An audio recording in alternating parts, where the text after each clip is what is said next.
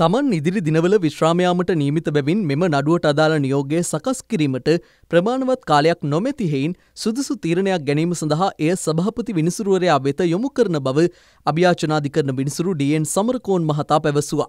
ඒ අනුව අභ්‍යාචනාධිකරණයේ සභාපති විනිසුරුවරයා ඉදිරියේ අදාළ පෙත්සම ලබන 14 වනදා කැඳවීමට නියම කෙරුණා.